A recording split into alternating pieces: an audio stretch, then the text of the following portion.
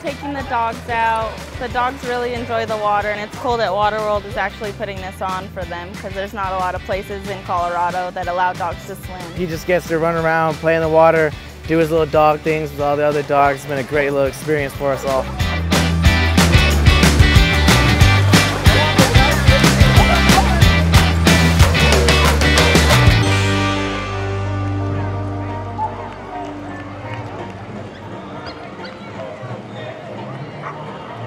Oh, oh, oh, oh.